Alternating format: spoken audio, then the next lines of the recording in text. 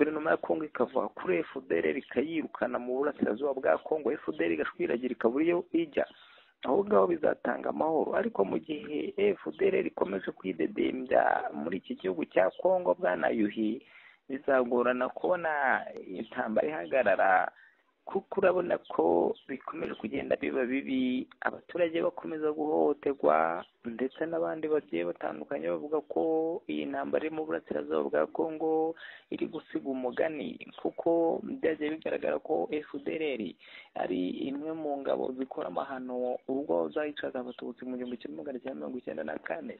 Zigahungira mu burasirazuba bwa kongo zikaza kwakirwa neza na perezida gisekedi iki cyagaragaje ko perezida felix antoine gisekedi we yiteguye ino ntambara ariyo mpamvu haturutse ibifaru biturutse muri afurika y'epfo muri sadeke bigaturuka mu ngabo zitandukanye ngo baje kurimbura emu ventura bwana munyamakuru.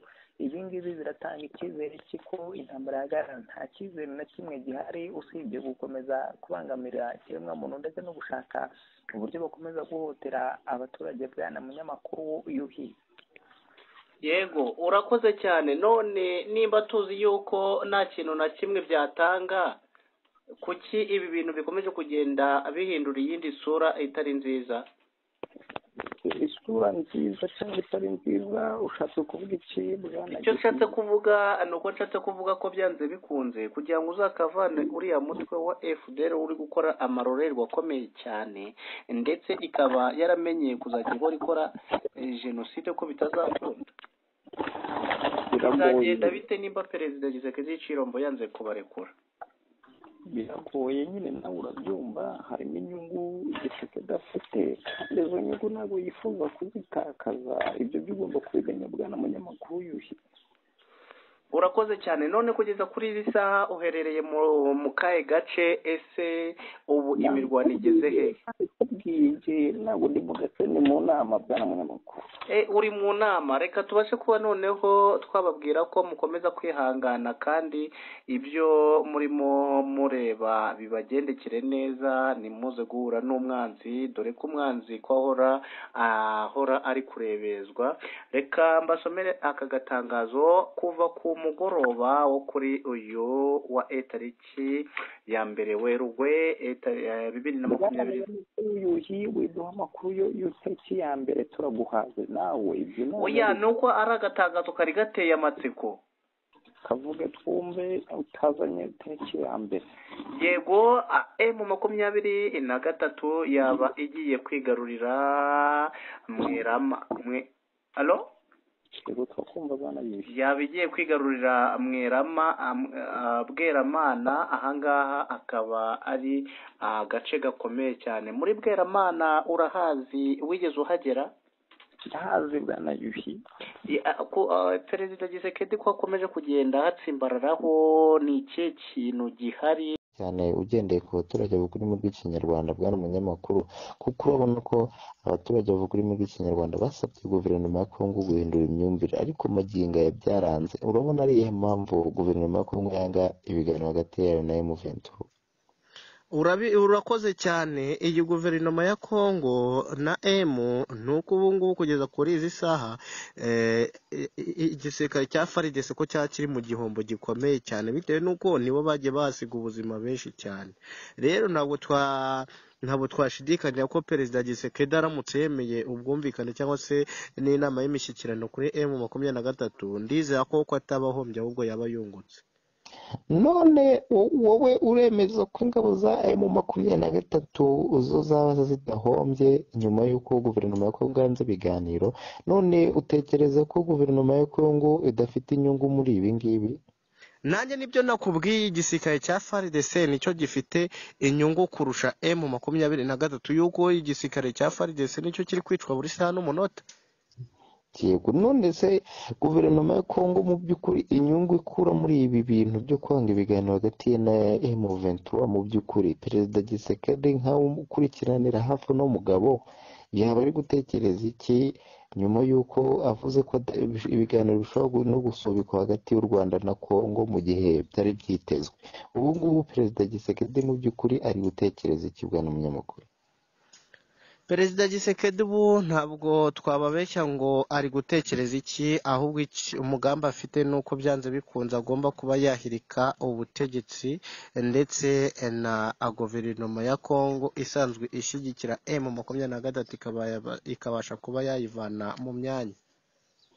None tugezeho amakuru aramutse avugwaho muri kongo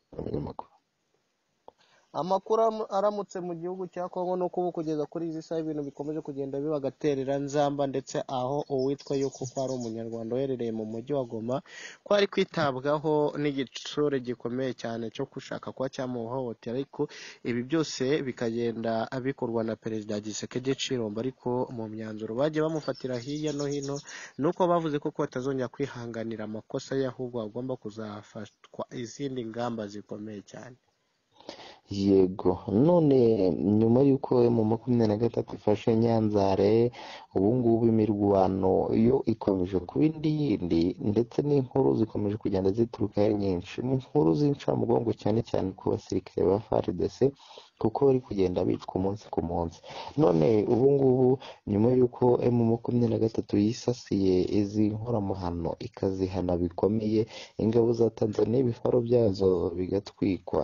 Ubu ngubu mu duce dutandukanye turimo intambara ni iki abaturage bari gutangaza bwana munyamakuru alo alo umva biragoranye pe kuko urabona ingabo za emu makumyabiri na gatatu zo zafashe ibyemezo bikakaye byo kuvuga ko zigiye guhana bikomeye. Izi ngabo za sadeke tanzania burundi ndetse na afurika y'epfo n'ahandi hatandukanye mu bihugu byohereje abasirikare mu gihugu mu gihugu cya kongo mwibuke neza ko bamwe mu baturage batuye mu gihugu cy'u rwanda barwanyije izi nyeshyamba fdr barwanya aba bantu bose barimo sadeke tanzania n'ibindi bihugu. Mu by'ukuri ni ikihe gihugu muri kano karere k'ibiyaga bigari cyagakwiye kwivanga muri ino ntambara ya kongo bwana munyamakuru urakoze cyane rwose. Reka nze nkubwize ukuri byanze bikunze. Ababashije kuba bakwivanga muri ibi ibibazo cyangwa se mu ntambara zidashira ni benshi cyane. Mm, urareba nk'igihugu cya burundi ni cyo cyabaye icya mbere dore ko no gutekereza ko wajya nko kuri ndayishimiye evariste aba ari ibintu biri kure. Mm, ndetse ukaza ugahita ukubitaho igisirikare cya afurika y'epfo. Ntabyo byateje ikibazo. Ni ibintu bi- mbese ni ibintu byinshi cyane ni ibihugu byinshi cyane. Akenshi ariko ntabwo aba ari kubw'impuhwe baba bashaka kugira gisekedi ahubwo ni abagizi be ba nabi bashaka kumusenya mu bwonko bwe ndetse n'ibitekerezo bikaba byanagenda.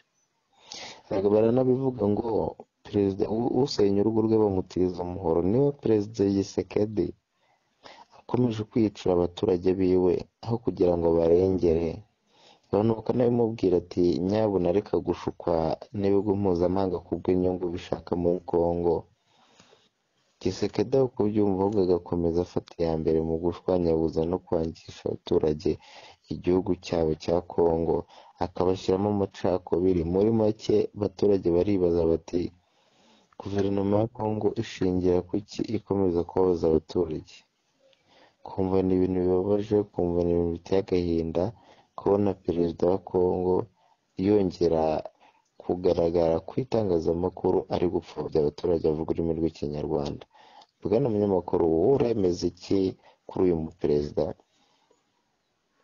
Icyo ngewe nakwemeza ni uko kugeza kuri izi saha ibintu byose perezida gisekedi arimo yigira bafite kuzamukoraho.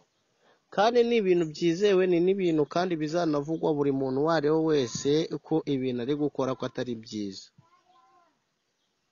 Yego.